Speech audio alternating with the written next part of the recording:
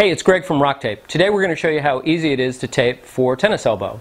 So the first thing we're going to do is take a quick measurement from the top of the arm to about mid forearm and go ahead and cut a piece of tape, flip it over on itself, and round those edges.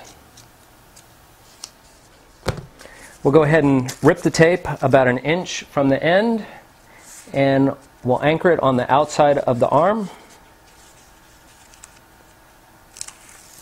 and run it right down to mid forearm with very little tension or stretch. And then we'll just rub the tape with the uh, heat of our hand to help activate the adhesive. And that's step one. Step two is another piece about four inches long. And again, we'll go ahead and round those edges and we'll anchor it on the front side of the elbow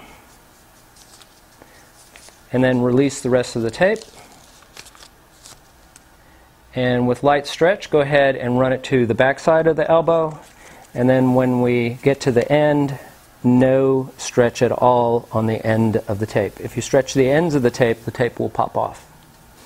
And again, just rubbing, rubbing vigorously to activate the adhesive will help set the tape.